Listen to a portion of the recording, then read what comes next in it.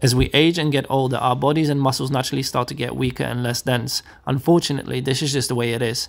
This is why staying active and particularly strength training or lifting weights is absolutely critical to slow down the aging process and stay healthy. It will improve and maintain your bone density and help with balance and coordination. We need to do what we can to try and preserve muscle tissue and a strong, healthy body. Just doing cardio is not enough.